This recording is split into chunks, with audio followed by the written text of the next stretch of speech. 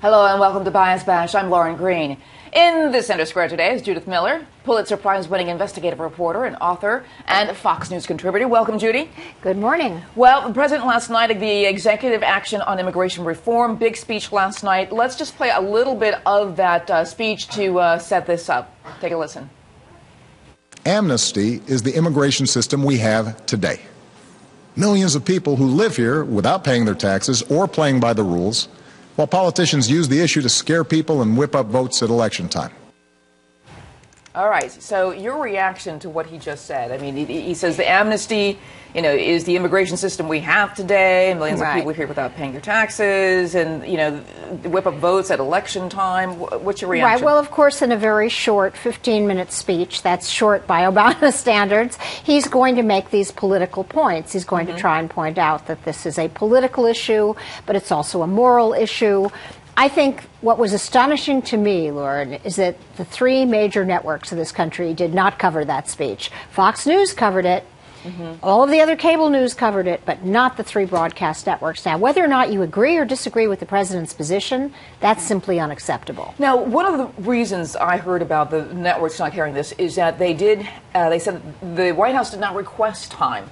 But they, they don't, he, the White House doesn't have request time in order for the networks to broadcast, right? Exactly. And not only that, but we all know the real reason why they didn't run the speech. Unpopular. No, not even that. This is sweep sweep.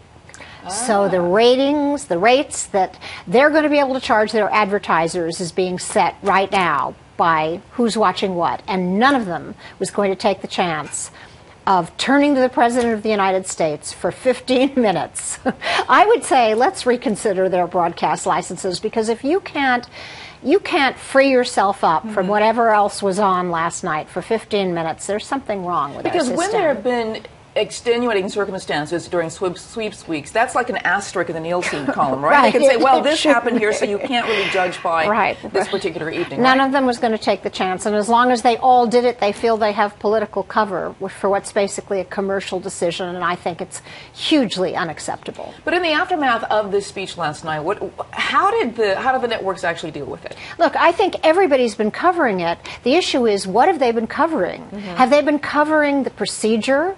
And the likely political impact? Yes. Have they been covering the substance of what the president said? Not so much. And it's not as if, oh, he just announced it last night, so we don't have time. No, we've been having leaks about what's in this bill now for over a week. So we've had time as media, as reporters, to answer questions like, okay, if we can't deport these people whom the president has now covered, mm-hmm this does not make them citizens, correct? Right. What are the legal distinctions? What are they eligible for or not eligible for? For example, can they get work permits? Does mm-hmm. what the president's done affect that decision? We haven't seen so much coverage of that issue. Or another one, if you're a pregnant woman about to give birth, are you covered? Well, it turns out the Washington Post today dealt with that issue and said, no, you're not, because you have to draw the long line someplace. And the president didn't want to encourage women who are here or undocumented to go out and have children to be covered by the law. So, in other words, there's a lot of substance that the media could have been sub- uh, covering. We're mm-hmm. not because we love the politics, we love the procedure. But in politics, it's an old saying if you're covering the procedure, you've already lost. but so, what is the next step? I mean, they were talking about can Congress and the president work together, but it doesn't sound like they can because uh, House Speaker right. Boehner came on this morning. And how do you deliver this kind of speech and then expect us to work together? Right. Well, the Republicans, as we all know, the only thing we can all agree on is that the Republicans are furious, and I think rightly so because the public has spoken in terms of the midterms. It's true, only one third of the American electorate electorate turned out to vote, but still still the the their votes were pretty decisive. Mm-hmm. So, yes, if you're a Republican, you're angry at what the president's done. The issue is the Republican Party is so divided. Will they be able to come out with a single coherent response to what the president's done? And the betting is way out on that. The Wall Street Journal ran a very interesting article today about three possible responses mm-hmm. from the Republicans. And one of the uh, responses, which was deemed to be the most potentially productive, which is offer your own bill and get it passed. That was also deemed to be one of the least likely. oh, dear.